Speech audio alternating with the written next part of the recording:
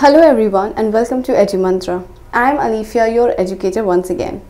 Today we are going to study about uh, an English poem which says A Photograph by Shirley Tilson. Now, a little bit of background ये poem में है क्या और किस चीज़ के बारे में हम uh, इस पोएम में पढ़ने वाले हैं it's about the mother of and her cousin तो अब ये जो राइटर है शर्ली uh, ये पूरी पोएम शर्ली और जो पोएट है उसके मॉम के बारे में है एंड उसके दो cousins Dolly and Betty a day on the beach so basically ये जो पोइट uh, की जो मॉम है शर्ली की जो मॉम है वो अपने दो कज़न के साथ बीच पे जाती है एक दिन अपने अंकल के साथ तो एक फ़ोटोग्राफ है it's a photograph a photograph right as a title says तो उस फोटोग्राफ में there is a mother and उनके दो कज़न हैं डॉली और बेटी तो वो फोटोग्राफ उस बीच डे का है. तो ये फोटोग्राफ्स से उसे क्या याद आता है? और जब वो उन्हें देखती है, उनका जो हर छोटी छोटी डिस्क्रिप्शन है, उस दिन को लेके वो इस पूरे पोएम में थ्रू आउट वो बताते हैं surely now the person may change with the memory still remains a same now the thing is that when you take a photograph a photograph हम फोटोग्राफ क्यों लेते हैं? अगर हम आप कहीं होटल में जाए या बाहर पिकनिक पे जाए why you take a photograph because वो मोमेंट पास हो जाता है but still the memory the feeling that you are feeling on that day in that photograph is still the same so even if you go back home and of see after like you know one month और like a year और two years when you go back and see uh old pictures अब तो खैर mobile का जमाना आ गया है but even you have like an album and when you are flipping through the photographs one by one भले आप चेंज हो चुके हो भले वो इंसान अभी आपके साथ ना हो बट उस दिन की जो मेमोरी है जो आप री, री उसको रिकलेक्ट करेंगे कि हाँ देखो लाइक यू नो मैंने ये कपड़े पहने थे। फिर अगर उस चीज़ उस मोमेंट से जुड़ी हुई अगर कुछ छोटी से छोटी स्टोरी होगी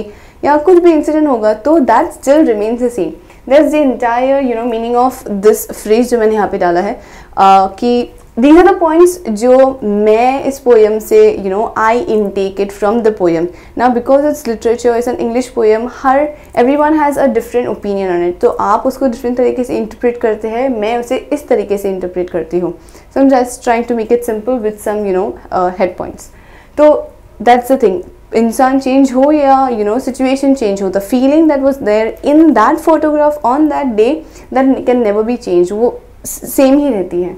ना the feeling of nostalgia for both the mother and the poet now ये जो पूरी पोएम है फोटोग्राफ वो थ्री फेजेस में डिवाइड की गई है। Like you know first and second stanza third stanza जो है तो there are three phases now जो फ़र्स्ट स्टैंडर जो है, उसमें the mother is shown very young and you know she has a feeling of usefulness and a spirit second phase में, वो mom अपने ही फ़ोटो को देख के याद करती है वो दिन जब वो हंस रहे थे, वो खेल कूद रहे थे।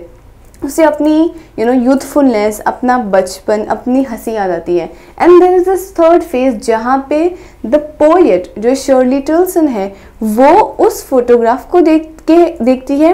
एंड जो सेकेंड फ़ेज़ था, जब उसकी मॉम ये सब याद करती है तो वो इंसिडेंट भी शर्ली को थर्ड फ़ेज़ में याद आता है। बिकॉज़ इस पोएम में उनकी मॉम डेथ हो चुकी है। वो ये सारी बातें तब कर रही है जब उनकी मॉम अभी उनके साथ नहीं है। और जब ये डे ऑन द बीच हुआ था जब ये फोटोग्राफ क्लिक किया गया था तभी भी शर्ली बॉर्न नहीं हुई थी। ऑथर uh, की मॉम बहुत ही छोटी थी। So that is entire thing it's like a feeling of nostalgia nostalgia का मतलब क्या होता है? It's kind of a memory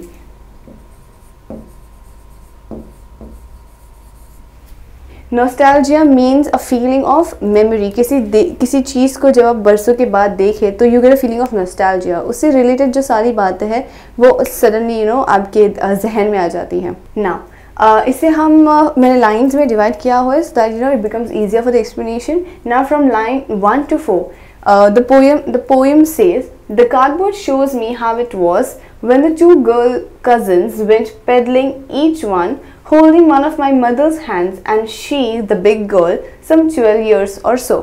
तो इसमें वो इंट्रोडक्टरी चीज़ बता रहे इंट्रोडक्शन कर रहे कि यहाँ पे उनकी मॉम जो है वो 12 इयर्स की है और वो सबसे बड़ी है she being the big girl तो दोनों जो कज़न है बेटी और जॉली उनमें जो पोएट की मॉम है, वो सबसे बड़ी है तो वो फोटोग्राफ में बीच में खड़ी हुई है एंड एक साइड पे बैठी है और एक साइड पे डॉली है और दोनों ने उनकी मॉम का हाथ पकड़ा हुआ है उस फोटोग्राफ में और उनके जो अंकल है, वो उन्हें बोल रहे हैं यू नो लाइक पोस्ट करने के लिए बोल रहे हैं कि आप पोस्ट करें तो मैं आपका पिक्चर लूँ और सब बहुत तैयार हुए हैं इस बीच डे के लिए। सो प्रोबेबली बोला जा सकता है कि maybe it was a plan day you know कभी अनप्लान uh, दिन बन जाता है कि यू you नो know, एक हम जा रहे हैं बाहर but it was not plan bore हो रहा था तो निकल गए. But over here maybe she says that it was a plan occasion to go on the beach because Dolly and Betty they both were quite dressed. Photography में बहुत ही ज़्यादा तैयार हुए हैं. तो क्लियरली मेंशन होता है कि ये होने वाला था. Now the cardboard there's a proper significance to this word cardboard.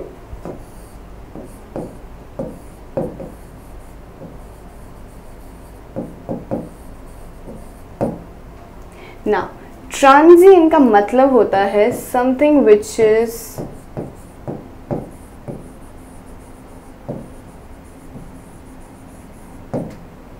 not permanent okay ना कार्डबोर्ड वो बोलती है cardboard shows me how it was तो जो फोटोग्राफ है, पहले, अब तो खैर हमें हार्ड बाउंड एल्बम्स मिलती है बट पहले जो फोटोग्राफ होता था, उसे हम कार्डबोर्ड के ऊपर लगा देते and then there to be cover तो cardboard is something which is hard that protects a photograph वो सालों तक उसे प्रिजर्व करके रखता है यू नो प्रोटेक्ट करके रखता है। बट फोटोग्राफ में जो इंसान है that can not be preserve because people are of transient nature which is not permanent कोई भी इंसान ऑब्वियसली सालों सालों तक यू नो जी नहीं सकता। There is a point to end every one has a certain point where you know they are no more जब वो दुनिया से चले जाते हैं। So that is what it signifies that even though the photograph was permanent वो photograph जो थी वो सालों तक रही प्रिजर्व रही because of the cardboard and उसके रिलेटेड जो सारी मेमोरीज थी, वो उसके मॉम के जहन में भी थी और उनके डेड होने के बाद ऑथर के शर्ली के दिमाग में भी, जहन में भी ये मेमोरीज सालों तक है। बट फोटोग्राफ के अंदर जो लोग हैं, जो उनकी मॉम है, उनके मॉम के जो दो कज़न है, वो जो है, वो परमानेंट नहीं है because people are of transient nature youth spirit uh, uh, spirit young spirit everything is of transient nature. Nothing is permanent. ek din sabko jana hota hai so that is the significance showing here. Moving ahead line uh, 5 to 9 all three stood still to smile through their hair at the uncle with the camera a sweet face of my mo uh, of my mother's that was before i was born and the sea which appears to have changed less washed. Their terribly transient feet now जो मैंने जैसे मैंने बताया वो तीन जो है खड़ी है फोटोग्राफ में उनके अंकल उनको बोल रहे हैं camera now over here it says through the hair through the hair it it just means that you know उनका जो um, इतनी basically there was so much of happiness in that moment that the picture was being capture through their hair जो वो खुशी थी जो वो हँसी थी वो that becomes the hair over here becomes a symbol of their happy being happy. Uh, you know the spirit of being happy. Because everyone is so happy at the beach तो ये जो हेयर है through the hair like you know चेहरे के ऊपर पूरे बाल आ चुके हैं उनमें से वो कैमरा जो है उन्हें कैप्चर करने की कोशिश कर रहा है। और वो बोलती है that my mom had a sweet face वो उनके फेस को जो है वो स्वीट डिस्क्राइब करती हैं। नाउ ओवर यर अगेन जो मैंने आपको ट्रांजिएंट का मतलब बताया था ट्रांजिएंट फीट तो the photo is like that in the same way she says that changed less washed, sorry, the sea which appears to have changed less the sea is also permanent. Sea भी वैसा का वैसा ही है, वो photo भी वैसे की वैसी ही है. बस जो, वो क्या चेंज हो चुका है? मॉम एंड दो जो मॉम है जो जो कजिन्स का उनका यूथफुलनेस है जो यंगनेस है उनकी जो एनर्जेटिक स्पिरिट है वो चेंज हो चुकी है. That is what has gone that is washed away over here it says that is washed away it's no more बाकी सब कुछ जो है वो बोलती है कि वो वैसा का वैसा ही है. Now, line 10 to 13. Some 20 30 years later, she'd laugh at the snapshot, see Betty and Dolly, she'd say, and look how they dressed us for the beach the sea holiday now these are the two cousins okay now this is what I would say the second phase and uh, इसके पहले जो था this was the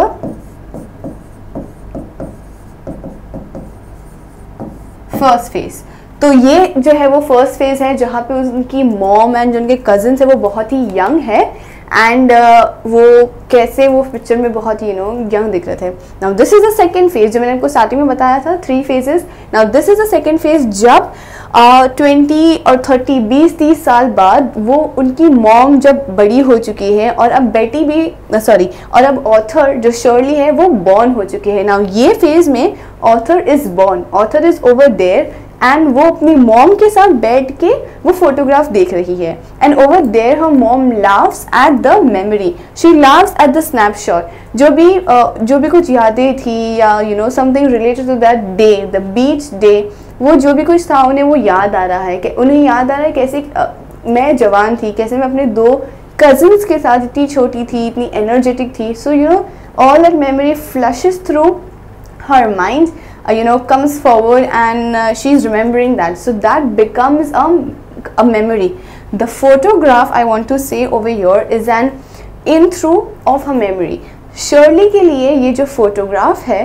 that becomes an in through of a mother's life okay तो ये जो photo है that becomes like a doorway हम it's very simple जैसे हम किसी फ़ोटो को देखते हैं सडनली उस दिन की सारी यादें एक एक एक you know in blank of a second अपने आँखों के सामने फ्लैश हो जाए। ऐसा लगता है कि जैसे, अरे, ये तो अभी ही हुआ था। That is a power of the photograph that is what a photo does effect on the people so same way surely जो पोएट है, उनके लिए जो फ़ोटो है, वो एक दरवाज़ा अ डोर वे बन जाता है उनकी मॉम की सारी मेमोरीज के लिए। And in the second phase दोनों ये मेमोरी साथ में जी रहे हैं बिकॉज़ श्योरली अब बड़ी हो चुकी है एंड पोएट भी बॉर्न हो चुकी है. So this happens all together when they are you know in it ना was her past mind is her laughter both wry with the laboured ease of loss अब यहाँ जो है ना the entire sense of the the tone of the poem जब भी हम एक lesson English में या poem पढ़ते हैं each and every poem has a certain tone to it it can be happy it can be of sadness it can be you know of appreciation या कुछ भी over here the tone of the poem is of uh, primarily memory for both the author Shirley and her mother and of sadness Sadness कैसे? और ये word यहाँ पे बहुत important है। This is now I would say this they still in the second phase over here we still in the second phase because यहाँ पे दोनों uh, दुखी है। दोनों कौन? पोएट एंड उनकी mom now memory and sadness दोनों के लिए है ये the entire tone why because as says both both both means the mother and and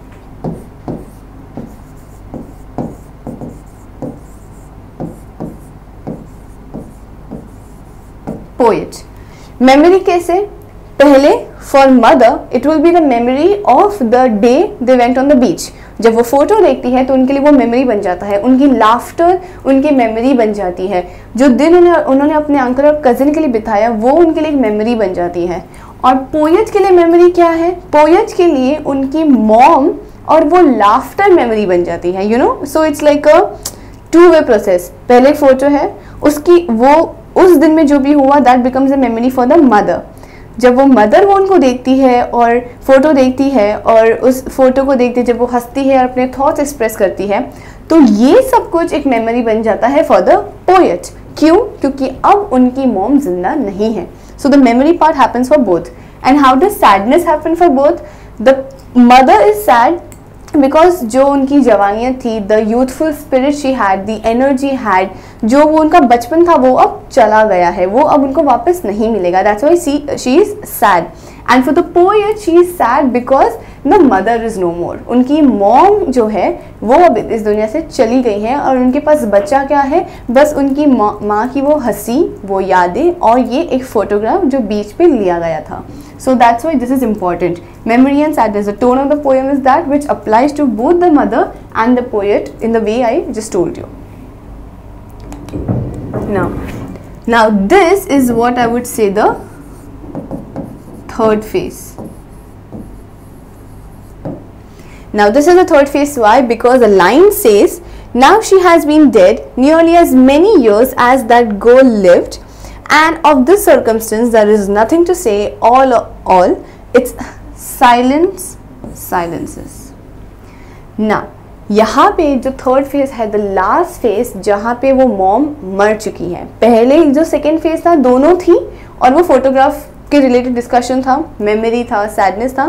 now third phase में पोएट है मॉम नहीं है। सो so, अगर आप देखें तो फ़र्स्ट फ़ेज़ मॉम है पोएट नहीं है। सेकेंड फ़ेज़ दोनों है और थर्ड फ़ेज़ पोएट है मगर मॉम नहीं है बिकॉज़ अब वो मर चुकी है। उन वही जितने साल की वो फोटोग्राफ में थी वो ट्वेल्व ईयर्स जो फोटोग्राफ में थी वो उतने ही साल अब हो चुके हैं उन्हें मरे हुए।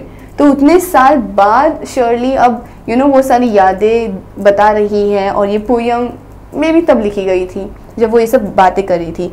तो वो बोलती है कि because she is no more और the thing it is such such of a sadness कि जो उनकी लाफ्टर है, बस वो एक मेमोरी बन के मेरे जहन में नक्श हो चुकी है। It's like just you know जैसे हम बोलते हैं ना incorporated in the head her laughter her the whatever she felt बाकी जो सारी चीज़ें हैं, वो अब मायने नहीं रखती है because she is no more she is dead तो that one thing silence is the entire plot the entire situation उनकी माँ का ना होना, वो जो दुख है, वो जो साइलेंस है, वो बाकी सारी चीज़ों को साइलेंस कर देता है। तो बोलती कि अब मुझे लाइक आगे क्या बोलूँ, क्योंकि मुझे पता ही नहीं है बिकॉज़ ये सारी मेमोरी मायने नहीं रखती है जब my mom is no more she is not there. That is why bringing back to the first thing i told you, transient nature. Photograph है, memory है। दैट इज़ परमानेंट बट उनसे रिलेटेड जो इंसान थे those are not they are transient they are non permanent okay so that's it for all I hope आपको uh, ये poem जो भी uh, थी a photograph by Shirley Toulson वो आपको समझ में आई होंगी. And that's it for today thank you very much